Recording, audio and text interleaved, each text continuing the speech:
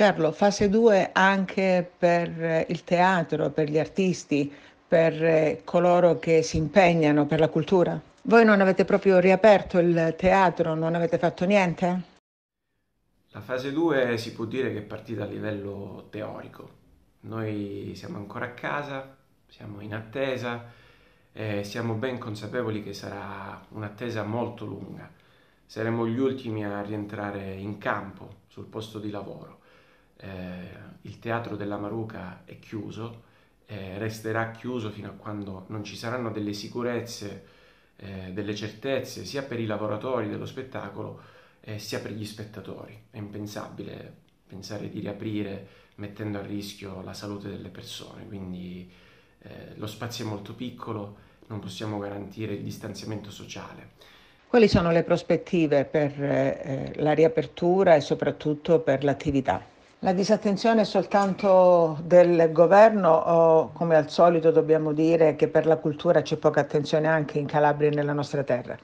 Per quanto riguarda il territorio nazionale stiamo dialogando con diverse compagnie ma anche associazioni di categoria per la tutela dei diritti, eh, stiamo ragionando su, sul da farsi, ma è molto difficile, ecco, ci sono tantissimi lavoratori dello spettacolo che in questi mesi per pochissime giornate non hanno raggiunto eh, il, fam- il, famoso bonus delle 600 euro e sono in grave difficoltà.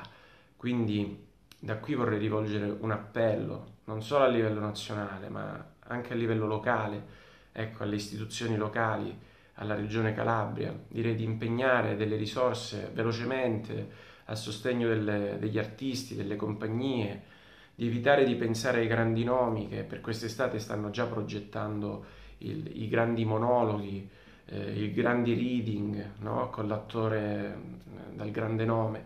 Ecco, direi di investire queste risorse nel piccolo, music- sui musicisti, eh, sugli artisti, sulle piccole compagnie professionali che in questi anni hanno creato un patrimonio sociale, umano, sono andati a lavorare nelle periferie, nelle scuole, hanno costruito eh, e l'appello chiaramente è rivolto anche ai dirigenti scolastici, alle Proloco. Noi siamo a disposizione per dialogare, per progettare su spazi all'aperto, per eh, insomma, degli eventi spettacolari eh, per quest'estate, però sappiamo che è molto difficile.